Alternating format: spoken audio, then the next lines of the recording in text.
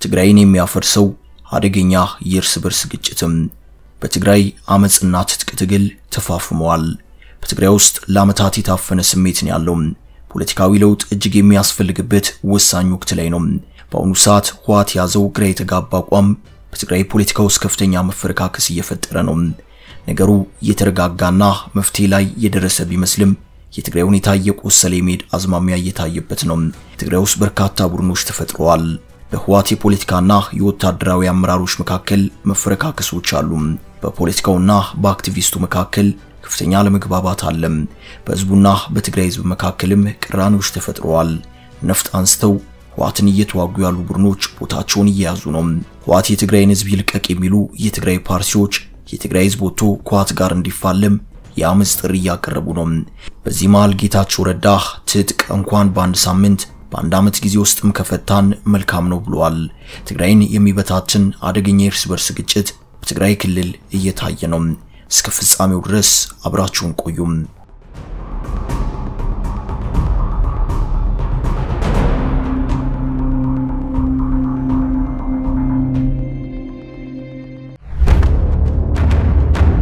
አያት ግራንድ ሞል ሽያጭ ተጀመረ። በኢትዮጵያ ግዙፉ የገበያ ማዕከል የራስዎን ዞሮ መግቢያ ቅርስ ያዙም። ይፍጠኑ፣ ይምጡም። ገንዘቦን ወደማይነጥፍ ቋሚ ንብረት ይለውጡም። አያት ግራንድ ሞል ሱቅ ይግዙ፣ ለልጆ ዞሮ መግቢያ ያዙም። የትም ቢሆኑ አሁኑኑ ይደውሉም። አያት ዞሮ መግቢያም ስልክ 0947 160873 0913 664425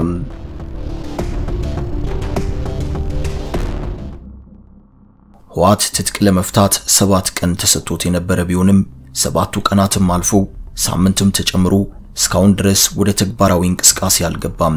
ታደሰ ወረደ ወታደሮቻችንን ከምሽግ እያስወጣን ነው፣ ምክክርም እያደረግን ነው፣ ግጭት ካለባቸው አካባቢዎችም እየወጣን ነው ቢሉም ጌታቸው ረዳ ትላንት ከቢቢሲው ስቴቨን ሳከር ጋር በሃርድ ቶክ ፕሮግራም ላይ ቀርቦ የሰላም ስምምነቱን ለመፈጸም ዝግጁ ነን፣ ነገር ግን ትጥቅ መፍታቱ ዝም ብሎ የሚሆን አይደለም፣ ወራትን ምናልባትም ዓመት ሊወስድ ይችላል። ስምምነቱን ለማክበር እየሞከርን ነው፣ እስካሁን ግን ምድር ላይ የተቀየረ ነገር የለም ሲል ተናግሯል።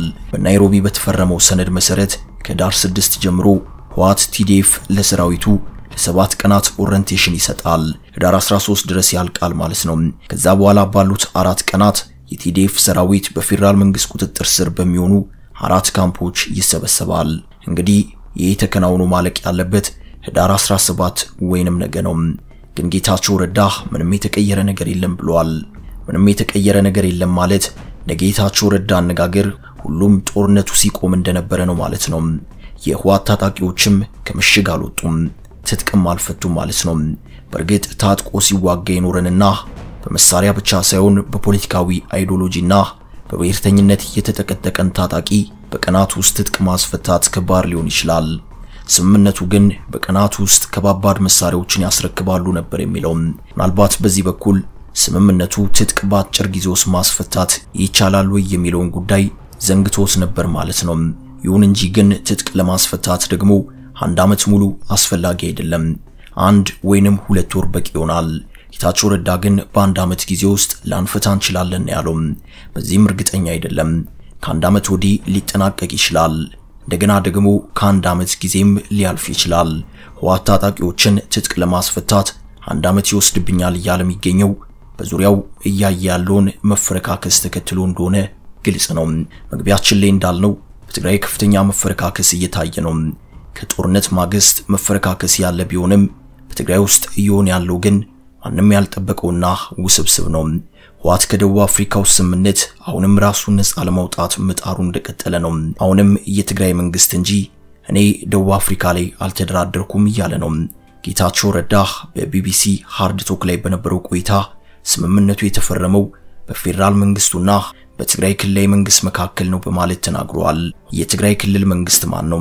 ህወሓት ነው ወይንስ ሌላ ድርድሩ ላይ ተሳትፏል የተባሉ አካልም? የትግራይ መንግስት መሪው ማን ነው? ደብረ ጽዮን ናቸው ወይንስ ሌላው ወታደራዊ አመራር አለም? በትግራይ ውስጥ የሚንቀሳቀሱ እንደ ትግራይ ነጻነት አይነት ፓርቲዎች የተደራደረው የፈረመው ህወሓት ነው ሌላ መንግስት አናውቅም እያሉ ነው። ሌላ መንግስት አለ የሚሉ ከሆነ ወደ ትግል እንደሚገባ ይህ ፓርቲ ትላንት በትግርኛ ባወጣው መግለጫ አረጋግጧል። ይህ ብቻ አይደለም፣ የአመፅ ጥሪም አቅርቧል። ህወሓት ለምን የትግራይን መንግስት አያስተዋውቀውም? በዚህ ጉዳይ እንኳንስ ከውጭ ያለው ቀርቶ በራሳቸው በህወሓት ሰዎች መካከልም መግባባት እንደሌለ መረጃዎች በግልጽ ያሳያሉ። የእርስ በርስ መፈረካከስ እንዳለ ታደሰ ወረደ ከሰሞኑ በሰጡት ማብራሪያ ላይ ገልጸዋል። ታደሰ ወረደ አንዳንድ የህወሓት ፖለቲካና ወታደራዊ አመራሮች ስጋት ሆኖብናል ብለዋል። ይሁን እንጂ ስጋት ተብሎ የተፈረጁት የፖለቲካዊና ወታደራዊ አመራሮች ግን እነማን እንደሆኑ አልተጠቀሰም። በህወሓት ውስጥ ሆነውም ስምምነቱን ያልተቀበሉና የራሳቸውን አንጃ የፈጠሩ አመራሮች እንዳሉ እየተነገረ ነው።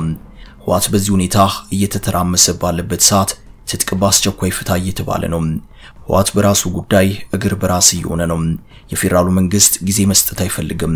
ህወሓት ውሎ ባደረ ቁጥር ሌሎች አማራጮችን ወደ ማየት ሊገባ ይችላል። ስምምነቱን አፍርሶ ውጊያም ሊከፍት ይችላል። በዚህ በኩል ኤርትራም አለችም። የወልቃይትና ራያ ጉዳይ እንደ ጉም እንደተጋረደ ነው። በዚህ መሃል ነው ህወሓት ትጥቅ ለመፍታት አንድ ዓመት ሊፈጅብኝ ይችላል ያለው። የፌዴራሉ መንግስት ምን ማስተማመኛ ይዞ አንድ ዓመት ህወሓትን ሊታገስ ይችላል?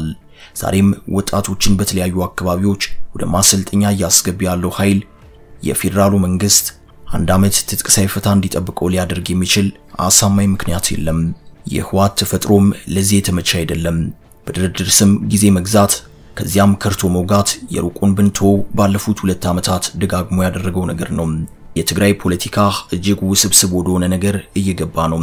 አሁን ካለው ነገር በመነሳት በቀጣይ ሊሆኑ የሚችሉ ነገሮችን መገመት ይቻላል። አንደኛ በህወሓት አመራሮች መካከል የተፈጠረው አለመግባባት ወደ መሬት ወርዶ የእርስ በርስ ውጊያ ውስጥ ሊያስገባ ይችላል። ይህ ውጊያ ከፌዴራሉ መንግስት ጋር የሚቆሙ የህወሓት አመራሮችንና የፌዴራሉን ኃይል የሚያዋጋ ሌላ የህወሓት ቡድን ሊፈጥር ይችላል። ይህ ከሰሞኑ የተስተዋለው ነው።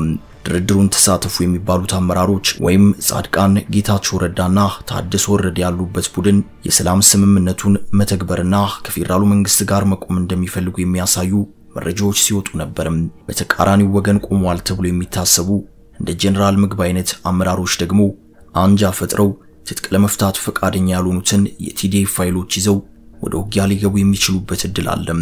ሌላው በትግራይ ውስጥ የራሳቸውን የፖለቲካ ስር ይዘው የሚታገሉ ቡድኖች እየበዙ ነው። አንደኛው ደምሂት የሚባለው ቡድን ነው።